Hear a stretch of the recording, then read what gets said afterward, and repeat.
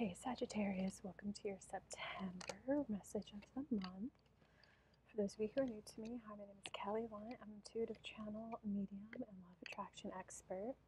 And I do have an upcoming workshop this Saturday, September 7th. I'll link to that in the comments below if you feel called. Without further ado, Sagittarius, it looks like in your recent past, looks like in your recent past, Sagittarius, you're really trying to like learn that balance between am I being impulsive or is this inspired action? And you're countering that with waiting for perfect timing.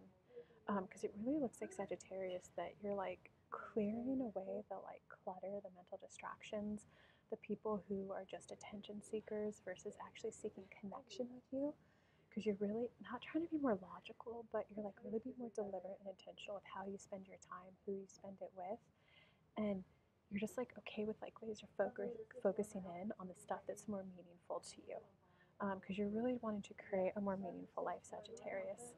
And so with that, in the recent past, you're just really trying to is this inspired action or am I just being impulsive trying to make it happen?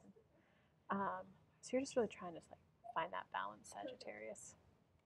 It looks like in the current moment,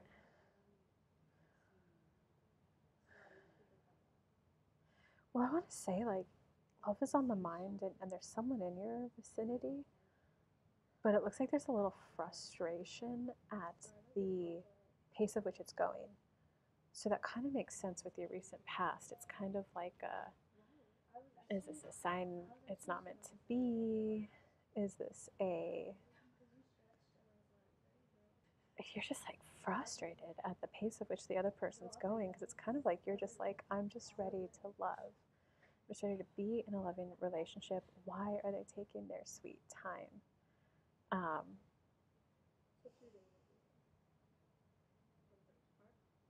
wow, this is a pretty short to the point reading.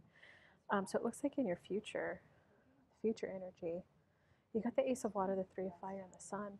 So going into the future, it's it's almost as if the other person is gonna like admit like, all right, there's something there between us, and now like the energy is both of you are, is gonna be like facing each other, because it, it's like the other person's just gonna admit like, yeah, I do like you, um, which is gonna put you in this but I've been liking you for like six months, nine months now. I just want my ships to come in. I want the relationship to come in. I want to be able to run up and hug you and be kissing you deeply and passionately already.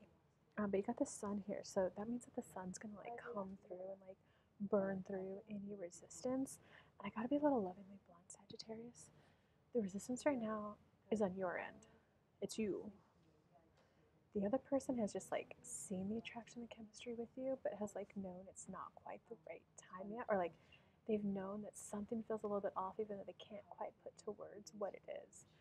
Um, and whenever you're in that situation of like, but I've already been loving you for six, nine months, the relationship should be further ahead than it actually is, you're not being grounded and present.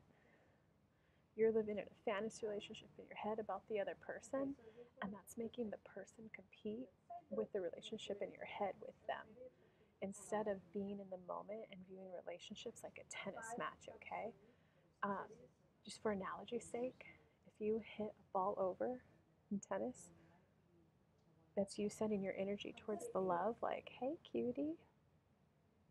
The, person, the other player has to hit the tennis ball back before you can hit it again, right? So that's the other person going, hey, cutie, I see you right? Because you can't play a tennis match with you going, hey, cutie, hey, cutie, hey, cutie, and the other person hasn't hit one back. So you've built up a fake relationship in your head, being blunt, and the other person has has just like felt that something's been off because you're at like step 10 when the relationship is actually at step 1 or 2. So it's not even like the worst advice you can give someone in that situation is relax, sit back, let it unfold naturally.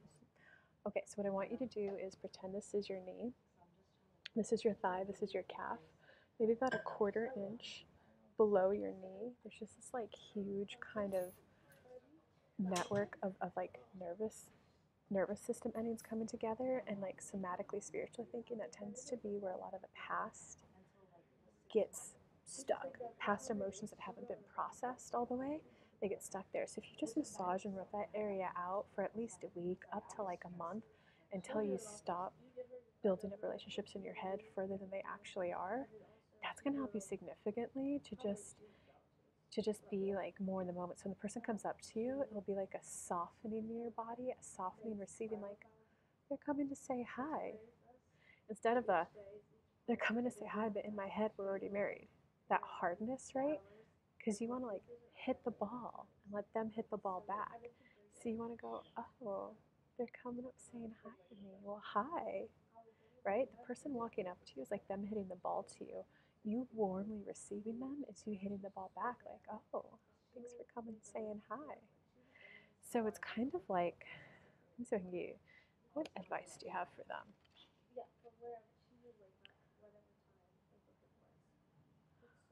Oh, it's because it looks like you're a little bit in your head about adult time.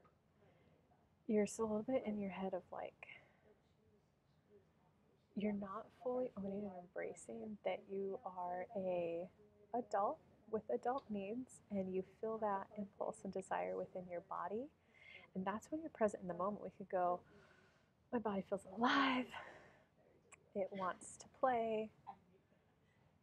But i want to wait for the right time with the right person.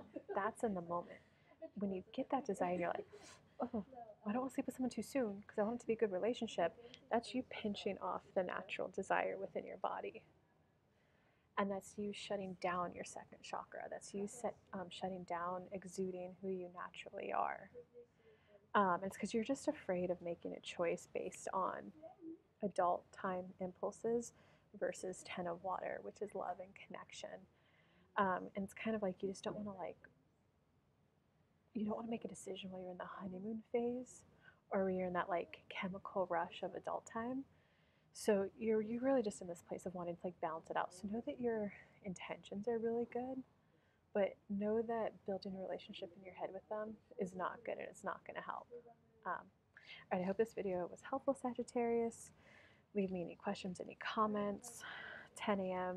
Eastern Time, I like to go live and channel fresh message from my spirit guide, George. And if you would like more help manifesting your desires, I'm holding a law of attraction workshop this Saturday, September 4th. Um, I'll put the link for that in the comments. Love you all. Bye.